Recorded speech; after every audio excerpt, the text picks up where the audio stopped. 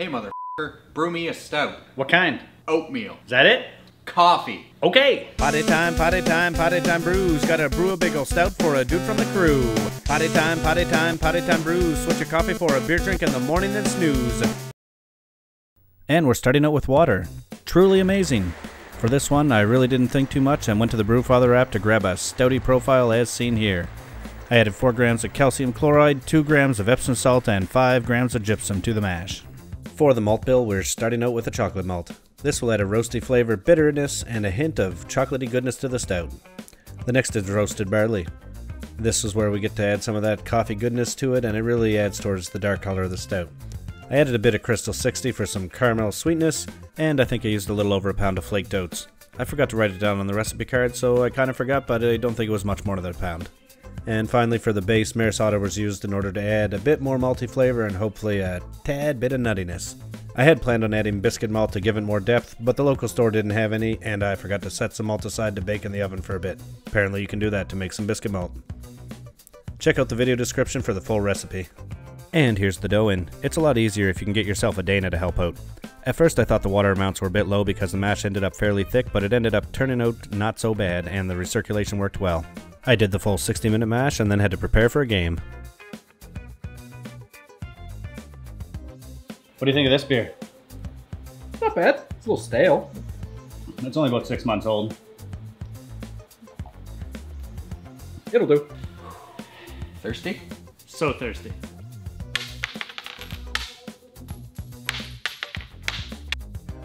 And so you have it. The two titans face off in what is sure to be a riveting match for the ages. Here it is. No! A near miss for James. Let's see if Dana can come back from what is shaping up to be an almost certain loss.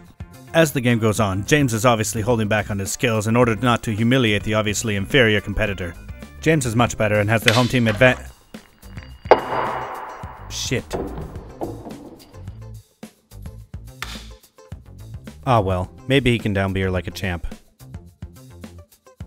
Okay, maybe he can down beer really slowly, like it's his first.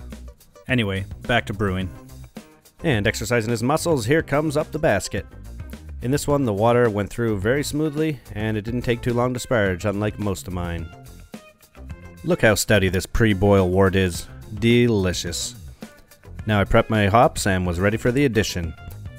I used a hop spider to I planned on using a hop spider to minimize the vegetal matter in the stout. After an hour in the boil, it was time to chill it down and add it to the fermenter.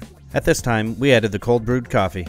Cold brewed coffee was chosen because it is said to be a bit less bitter and more smooth with a slighter sweeter taste. The counterflow chiller brought it down to about 20 degrees.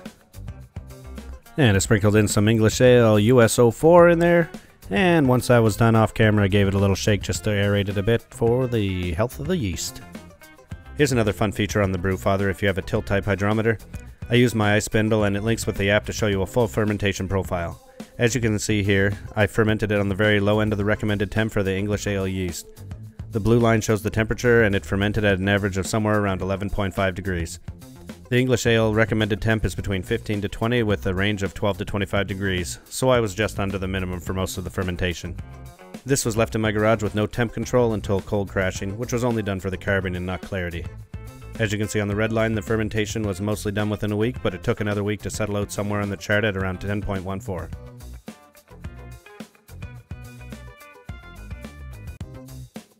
Okay, we finally made it to the beer review.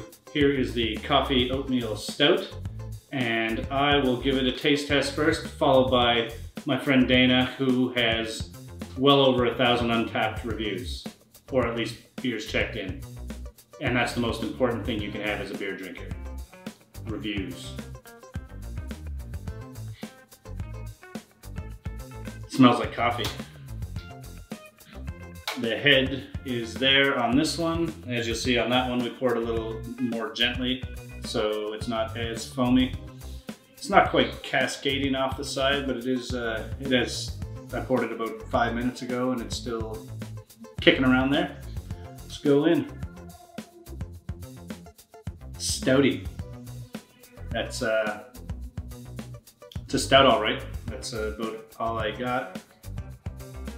There's some coffee there for sure. Mm-hmm. Nice roast. No idea if the cold brew coffee is going through because I haven't tried it without the cold brew coffee. and I think it would taste coffee y anyway. What's your opinion? It's a tasty beer. Roasty. Coffee. Pretty much what I was looking for. Coffee, roasty, tea, beer. But Cheers. Gonna have to slow mo this pathetic attempt at a beer chug in order to get to the part of the video where I tell you all the crap I forgot to mention in the review. First off, the beer was great and I would brew it again. Of note, it says in the Brewfather that this bad boy is about 60 calories per 100 milliliters, which means each pint will put you back about 300 calories. The beer started at 1064 OG and finished at 1016 for a 6.3% alcohol.